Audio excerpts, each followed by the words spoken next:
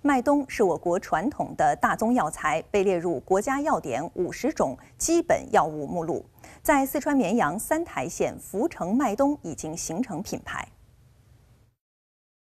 有了品牌，当地政府、银行、企业三方联动，科学化、规范化，将麦冬产业做大做强，创新建立政府加邮政加银行加农民合作社加上下游企业多主体为农服务模式，盘活金融资源，推动开发麦冬流水带等专属产品。